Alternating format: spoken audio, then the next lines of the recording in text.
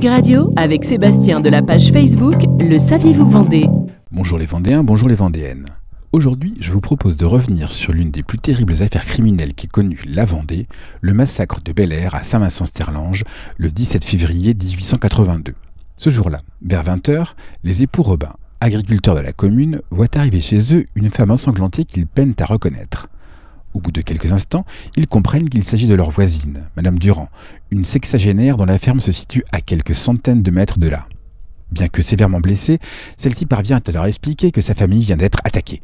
Elle n'est pas sûre d'avoir reconnu l'agresseur, mais elle pense qu'il s'agit de l'un de leurs anciens domestiques, un dénommé Barbier. Aussitôt, le père Robin déclenche alerte. Une partie des villageois se lance à la recherche de l'agresseur, tandis qu'un autre groupe se précipite à la ferme des Durand. Ils y découvrent une scène d'horreur. Dans la pièce principale, Auguste Durand, 70 ans, gît dans une mare de sang, mort. Il a le crâne fracassé et l'un de ses yeux est sorti de son orbite. À quelques mètres de lui, le corps sans vie de sa fille, Madame Guibault, 40 ans, est allongé face contre terre.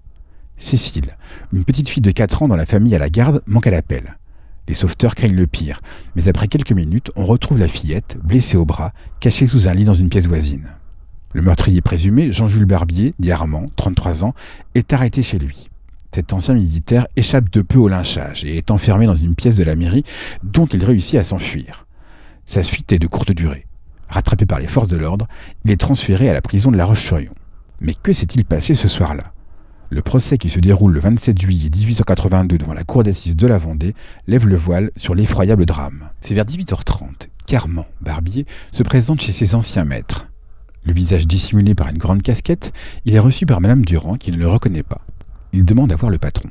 Dès que celui-ci se présente, Armand se jette sur lui avec une fourche qu'il avait dissimulée et le frappe avec le manche. Durand est tué sur le coup. Barbier se précipite alors sur la petite fille qui se protège des coups avec les bras. Apercevant Madame Durand en train de s'enfuir, le meurtrier laisse Cécile s'échapper et rattrape la fermière dans la cour où il l'assomme en la projetant contre un mur. Puis il la traîne par les cheveux à l'intérieur de la maison où il tombe nez à nez avec la fille de Durand, Madame Guibault, qui vient de rentrer de faire ses courses. Il pense d'abord à s'enfuir, mais finalement se rue sur la quadragénaire qu'il massacre à son tour. Il s'apprête alors à achever Madame Durand, mais celle-ci a réussi à s'enfuir pour aller prévenir les voisins. Après avoir fouillé la maison à la recherche d'argent et s'être acharné sur les corps de ses victimes, il s'exclipse finalement au moment où les villageois entrent dans la ferme. Après avoir nié le meurtre, accusant une bande de cheminots de passage, il reconnaît le massacre. Son excuse, ses anciens patrons l'auraient brimé et exploité. La défense ne tient pas. Les Durand sont en effet connus de tous pour leur générosité. En réalité, il s'agit tout simplement d'un crime crapuleux.